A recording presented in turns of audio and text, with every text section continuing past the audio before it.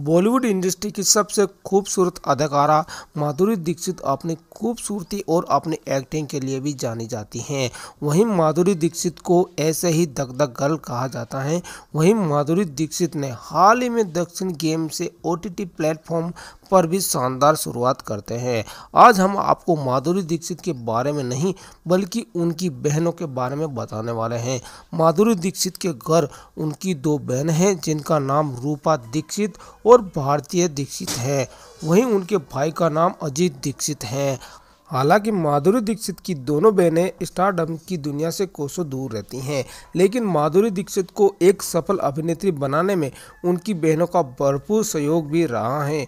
ये बात तो हर कोई जानता है कि माधुरी दीक्षित एक बहुत ही अच्छी कथक डांसर भी हैं, लेकिन बहुत ही कम लोग ये जानते हैं कि माधुरी दीक्षित के अलावा उनकी बहनें भी कथक डांसर हैं। दरअसल एक बार माधुरी दीक्षित ने अपने बहनों के साथ अपनी पुरानी तस्वीर को शेयर किया था और इन तस्वीरों में माधुरी माधुरी दीक्षित अपनी बहनों के साथ डांस करती हुई दिखाई दे रही थी।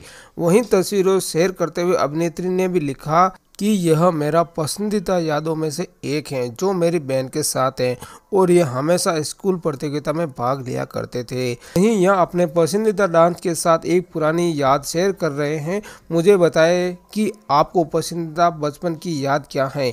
वहीं इस पोस्ट में दोनों को देखकर यह पहचान पाना भी मुश्किल हो रहा है कि असल में माधुरी दीक्षित कौन सी हैं? वही माधुरी दीक्षित की बहन भी उन्हीं की तरह काफ़ी खूबसूरत है। तो दोस्तों, आपको माधुरी दीक्षित की दोनों बहनें कैसी लगी मुझे कमेंट करके ज़रूर बताना। अगर वीडियो पसंद आए तो इस वीडियो को लाइक करना, शेयर करना और हमारे इस चैनल को सब्सक्राइब ज़रूर करना। धन्यवाद दोस्तों।